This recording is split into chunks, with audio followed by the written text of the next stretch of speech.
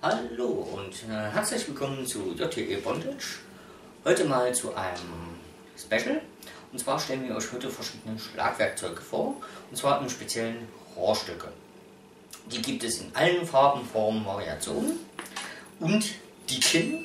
Und das ist dann schon das wesentliche Kriterium. Und wir stellen euch heute einfach mal verschiedene Längen und Dicken vor. Und testen die aus. Mietz, bring mal bitte den ersten. Das ist ein dünner, recht langer. Das ist ein ziemlich langer Dünner. Und der Spaß an diesen langen ist, dass je länger sie sind, desto schneller wird das Ende, was man nicht in der Hand hat. Und es kommt nicht auf die Geschwindigkeit des ganzen Stocks an, sondern nur auf die Geschwindigkeit des Endes, was beim Subi ankommt. Das heißt, man muss nicht unbedingt so in dem ganzen Arm zu haben, sondern So, einfach kurz aus dem Handgelenk. Macht viel mehr Spaß. Das Schöne am Rohrstock ist, sie sind zweiseitig verwendbar. Da hat man keinen festen Griff. Und man kann halt eben abmessen, je nachdem, ob man das Supi ein bisschen schonen möchte, trifft man halt eben hier so mit dem Bereich. Und wenn Supi böse war und so die ganze Härte bekommen, zieht man halt eben mit dem hinteren Ende. Viel wichtiger ist aber wirklich flach draufkommen. Man kann auch so das tut dann noch ein bisschen mehr weh, aber flach reicht schon. Und wie immer schön aus dem Handgelenk. Und da das ein sehr dünner ist, ist das sehr leicht. Und laut der Miet soll es mehr so ein stechender, zwiebelnder Schmerz sein. Wir kommen später noch zu anderen Kategorien. Man hört vielleicht dieses wunderschöne Wuschgeräusch. Ich liebe das an Geräten, die das machen.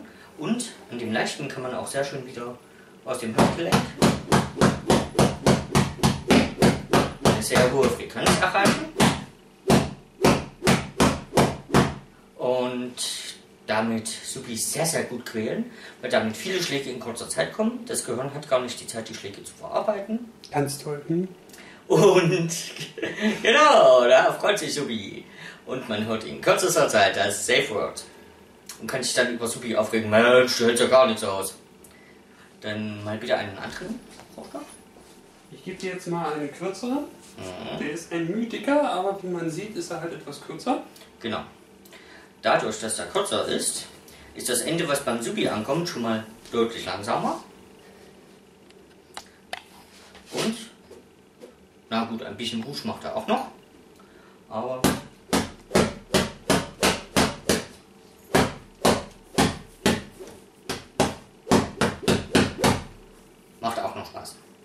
Hat allerdings, wie gesagt, durch die Kürze wesentlich weniger Geschwindigkeit. Ist allerdings auch deutlich leichter, weil er kürzer ist und nur ganz unwesentlich dicker. Man kriegt also trotzdem noch aus dem Handgelenk genug Geschwindigkeit raus. Und man kann wieder diesen machen. Und so wie er. Gibt auch einen etwas scharfen, stechenden Schmerz. Laut der Mietz. Und dann haben wir hier noch was ganz anderes. Den guten alten englischen Schulhofstock. Auch ein Rohrstock, allerdings, wie man sieht, ziemlich dick. Und der macht jetzt, wie man das hört, schon ein sehr, sehr dumpfes Busch.